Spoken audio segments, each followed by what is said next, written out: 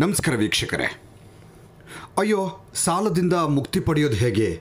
ಸಾಲನ ತ್ವರಿತವಾಗಿ ತೀರಿಸೋದು ಹೇಗೆ ಅಂತ ನೀವು ಯೋಚಿಸ್ತಾ ಇದ್ದರೆ ಈ ಜ್ಯೋತಿಷ್ಯದ ಪರಿಹಾರಗಳನ್ನು ನೀವು ಅನುಸರಿಸಿ ನೋಡಿ. ಇದರಿಂದ ನಿಮ್ಮ ಸಾಲಗಳೆಲ್ಲ ತೀರುವ ಜೊತೆಗೆ ಹಣ ಸಂಬಂಧಿ ಸಮಸ್ಯೆಗಳೆಲ್ಲವೂ ಕೂಡ ನಿವಾರಣೆ ಆಗತ್ತೆ. ಪ್ರತಿಯೊಬ್ಬರೂ ಕೂಡ ಈ ಸಾಲುಗಳನ್ನು ಅಥವಾ ಈ ಮಾತುಗಳನ್ನು ಹೇಳ್ತಾನೆ ಇರ್ತಾರೆ. ಅಯ್ಯೋ, ಸಾಲದಿಂದ ಮುಕ್ತಿ ಪಡೆಯೋದು ಹೇಗೆ? ಈ ಸಾಲನ್ನು ನಾವು ಯಾವಾಗ ತೀರಿಸ್ತೀವಿ? ಈ ಎಲ್ಲ ಪ್ರಶ್ನೆಗಳು ಕೂಡ ಇದ್ದೇ ಇರುತ್ತೆ.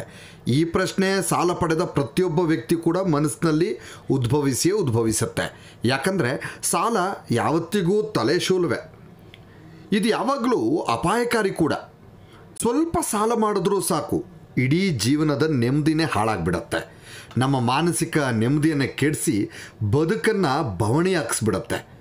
ಲಕ್ಸುರಿ ಬದುಕಿಗಾಗಿ ಮಾಡಿಕೊಂಡಂತಹ ಸಾಲಗಳು ಲಕ್ಸುರಿಯ ರುಚಿ ತೋರಿಸಿ ಸಂಕಷ್ಟಕ್ಕೆ ತಿರುಗಿಸ್ತವೆ.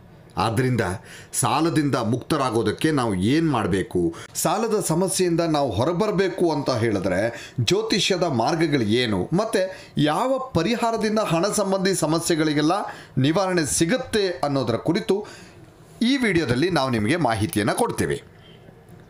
ಸಂಪತ್ತಿನ ಒಡೆಯ ಕುಬೇರನನ್ನು ಹಿಂದೂ ಧರ್ಮದಲ್ಲಿ ದೇವತೆಗಳ ತಿಜೋರಿ ಭಂಡಾರ ಅಂತ ಹೇಳ್ತಾರೆ.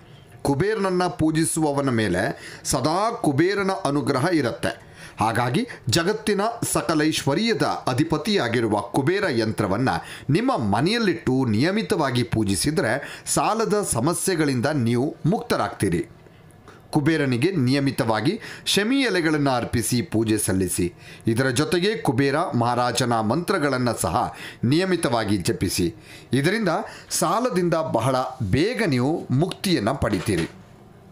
ಕುಬೇರ ಮಂತ್ರ ಯಾವುದು ಅಂತ ನಿಮಗೆ ಪ್ರಶ್ನೆ ಇದ್ದರೆ ನೋಡಿ ಈ ಮಂತ್ರವನ್ನು ಹೇಳಬೇಕು.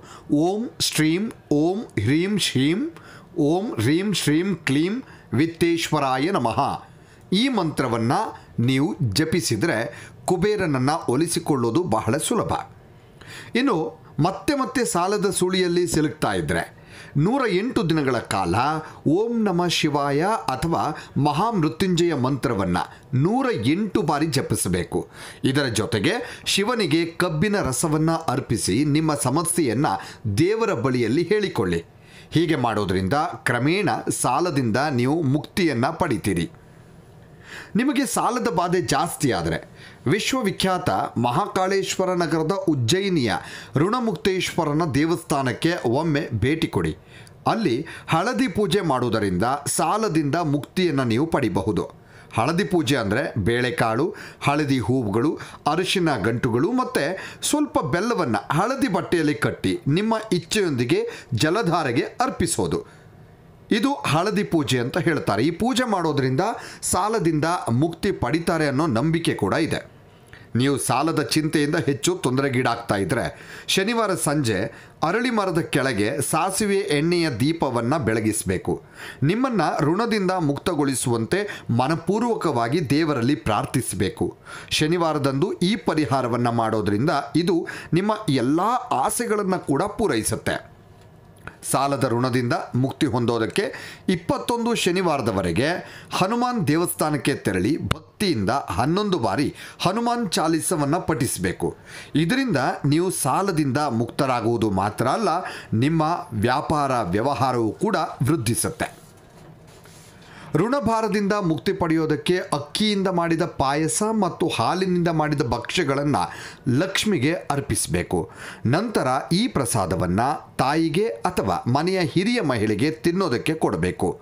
ಇದರಿಂದ ಕ್ರಮೇಣ ನಿಮ್ಮ ಸಂಪೂರ್ಣ ಸಾಲ ಕಡಿಮೆಯಾಗುತ್ತಾ ಬರುತ್ತೆ. ಸಾಲದ ಋಣದಿಂದ ಮುಕ್ತಿ ಹೊಂದೋದಕ್ಕೆ ಪ್ರತಿದಿನ ಕೆಂಪು ಬೇಳೆಯನ್ನು ದಾನ ಮಾಡಬೇಕು. ಇದರಿಂದ ಸಾಲವನ್ನು ಕ್ರಮೇಣ ಕಡಿಮೆ ಮಾಡಬಹುದು. ಪ್ರತಿ ಮಂಗಳವಾರ ಶಿವ ದೇವಾಲಯಕ್ಕೆ ಹೋಗಿ ತೊಗರಿ ಬೇಳೆಯನ್ನು ದಾನ ಮಾಡಿ. ನಂತರ ಅಲ್ಲಿಯೇ ಕುಳಿತು ಋಣಮುಕ್ತೇಶ್ವರ ಮಂತ್ರ, ಓಂ ಋಣಮುಕ್ತೇಶ್ವರ ಮಹಾದೇವಾಯ ನಮಃ ಅನ್ನೋದನ್ನು ಕನಿಷ್ಠ ನೂರ ಎಂಟು ಬಾರಿ ಪಠಿಸೋದ್ರಿಂದ ನಿಮ್ಮ ಸಾಲದಿಂದ ನೀವು ಮುಕ್ತಿಯನ್ನು ಪಡಿತೀರಿ. ಮತ್ತು ಇಷ್ಟಾರ್ಥಗಳೆಲ್ಲವೂ ಕೂಡ ನೆರವೇರ್ತವೆ. ಇನ್ನಷ್ಟು ವಿಡಿಯೋಗಳಿಗಾಗಿ ಮೀಡಿಯಾ ಏಯ್ಟೀನ್ ಕರ್ನಾಟಕ ಚಾನಲನ್ನು ಸಬ್ಸ್ಕ್ರೈಬ್ ಮಾಡಿ ಹಾಗೂ ಹೊಸ ಹೊಸ ವಿಡಿಯೋಗಳ ಅಪ್ಡೇಟ್ಗಳಿಗಾಗಿ ಬೆಲ್ ಐಕನನ್ನು ಕ್ಲಿಕ್ ಮಾಡಿ. Thank you.